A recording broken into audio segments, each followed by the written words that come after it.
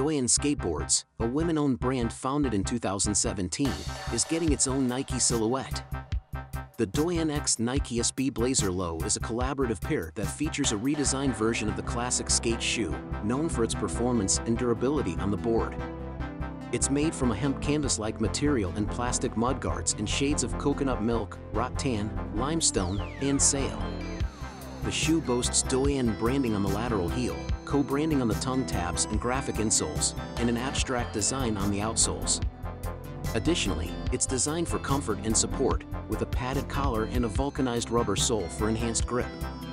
The Doyenne X Nike SB Blazer Low will be available on March 8th for $100 at Nike.com and select retailers. Make sure to stay tuned to our sneaker release dates calendar for any updates on this exciting release. And as always, thanks for watching and don't forget to subscribe to my channel.